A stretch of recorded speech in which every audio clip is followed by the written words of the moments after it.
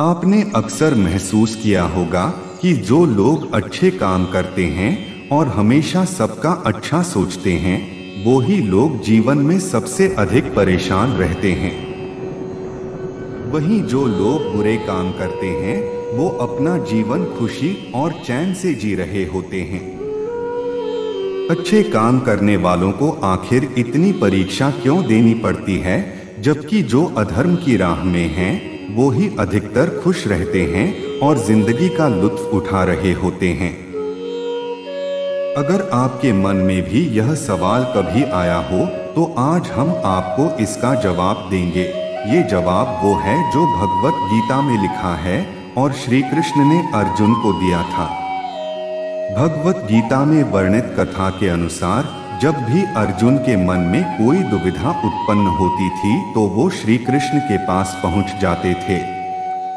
एक बार की बात है, अर्जुन श्री कृष्ण के पास जाकर कहते हैं कि वो किसी बात को लेकर परेशान हैं और इसका जवाब वो श्री कृष्ण से चाहते हैं। श्री कृष्ण ने पूछा, सवाल क्या है?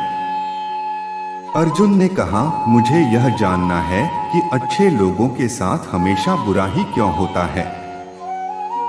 वहीं बुरे लोग खुशहाल होते हैं।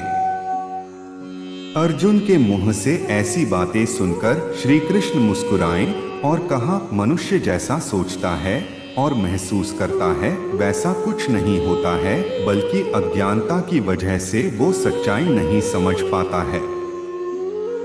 अर्जुन उनकी ये बात समझ नहीं पाए। इसके बाद श्री कृष्ण ने उन्हें समझने के लिए क्या कहा वो जानते हैं। श्री कृष्ण ने अर्जुन से कहा, पार्थ, मैं तुम्हें एक कथा सुनाता हूँ। उसे सुनकर तुम समझ जाओगे कि हर प्राणी को उसके कर्म के हिसाब से ही फल मिलता है। प्रकृति हर किसी को अपनी राह चुनने का मौका देती है। अब वो मनुष्य की इच्छा पर निर्भर करता है कि उसे धर्म की राह चुननी है या अधर्म की। कथा शुरू करते हुए श्री कृष्ण ने कहा, एक नगर में दो पुरुष रहते थे। एक पुरुष व्यापारी था जिसके जीवन में धर्म की बहुत महत्ता थी। वह पूजा पाठ में यकीन रखता था। वह हर रोज मंदिर जाता था और दान धर्म भी करता था और हर रोज भगवान की पूजा करता था। वहीं दूसरा पुरुष बिल्कुल विपरीत था, वह हर रोज मंदिर तो जाता था, लेकिन पूजा करने नहीं, बल्कि मंदिर के बाहर से जूते चप्पल चुराने। उसे दान और धर्म से कोई लेना देना नहीं था। समय बीतता गया और एक दिन बहुत ज़ोर की बारिश हो रही थी, इस वजह से मंदिर में पुजारी के अलावा कोई नहीं था।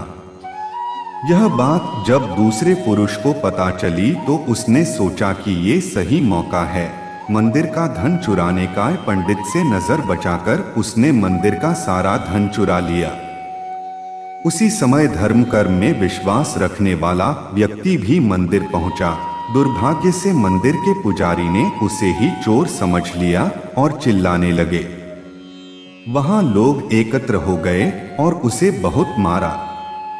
किसी तरह वो खुद को बचते, बचाते वहाँ से निकला तो दुर्भाग्य ने उसका साथ वहाँ भी नहीं छोड़ा। मंदिर के बाहर वो एक गाड़ी से टकरा गया और घायल हो गया। फिर वो व्यापारी लंगड़ाते हुए घर जाने लगा तो रास्ते में उसकी मुलाकात उस पुरुष से हुई जिसने मंदिर से धन चुराया था। उसने कहा, आज तो मेरी किस्मत चमक गई, एक साथ इतना सारा धन मिल गया। ये सब देखकर उसे बहुत बुरा लगा और उसने अपने घर से भगवान की सारी तस्वीरें निकाल दी। कुछ सालों बाद दोनों पुरुषों की मृत्यु हो गई। मरने के बाद जब दोनों पुरुष यमराज के पास पहुँचे और भले पुरुष ने दूसरे व्यक्ति को देखा तो उसे बहुत गुस्सा आया। उसने क्रोधित होकर यमराज से पूछ ही लिया, मैं तो हमेशा अच्छे कर्म करता था दान में विश्वास रखता था। उसके बदले जीवन भर मुझे अपमान और दर्द ही मिला और इस व्यक्ति ने हमेशा बुरे कर्म किए, फिर भी इसे नोटों से भरी पोट ली। आखिर ऐसा भेदभाव क्यों? इस पर यमराज ने कहा, पुत्र, तुम गलत समझ रहे हो। जिस दिन तुम्हारी गाड़ी से टक्कर हुई थी, वो दिन तुम्हारे जीवन का आखिरी दिन था। परंतु तुम्हारे अच्छे कर्मों की वजह से तुम्हारी मौत सिर्फ़ एक छोटी से चोट में बदल गई। तुम इस दुष्ट व्यक्ति के बारे में जानना चाहते हो। दरअसल इसके भाग्य में राजयोग था, मगर इसके कुकर्मों और अधर्म की वजह से वो सिर्फ़ एक छोटी सी धन की पोटली में बदल गया।